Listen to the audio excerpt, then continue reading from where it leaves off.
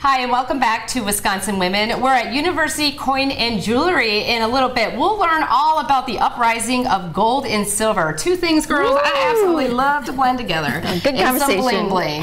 Uh, yeah, so now we're super excited to have with us Lisa Thurrell, the co-artistic director of Kanopy Dance Company. And girl, every time you're here, we always love to see what you're wearing because you always have some fun pants, a great shirt, yeah. and really cute shoes. So the shoes today are on top notch right now.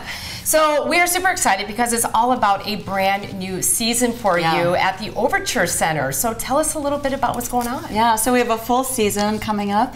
Um, October, December, April, May, oh, and February dare I forget yeah. that, of, of concerts at the Overture. We have a new subscription series, so you can get a discount if you choose your own subscription of three to five different shows. Ooh, we like discounts. So like yeah, and there's other perks along the way with that too. Very cool. But in um, our fall show, we've got some guest artists from New York from the Graham Company mm-hmm. performing with us and some new works, and then we've got our holiday show in December, and then we run up into February, which we have our Love Is Love Ooh. concert oh, featuring Adam and Steve.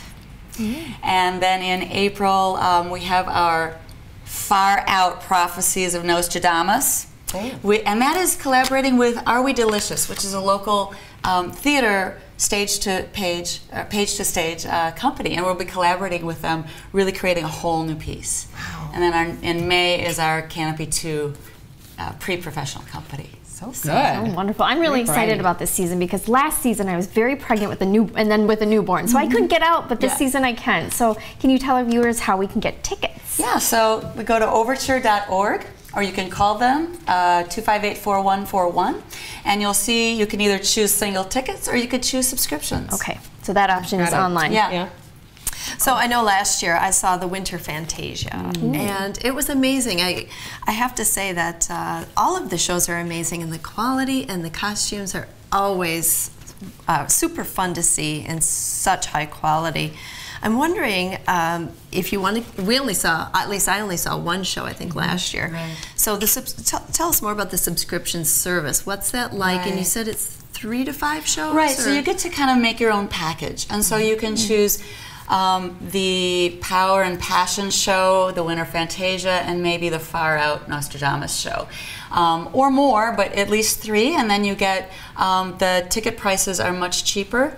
And then you, if you and you get reserved seats. You get to choose your seats, and you also may get free parking if Ooh. you if you get those tickets in time. We have a limited number of parking vouchers. Oh, that's that. an interesting okay. perk. Yes, yeah. that's yes, a great perk. Yep. And there's also a school discount um, as well uh, if you register as well for the school year uh, for your child or yourself. There'll be a discount as well for that. How many shows total are there? So there's five shows. Five. Okay. All right.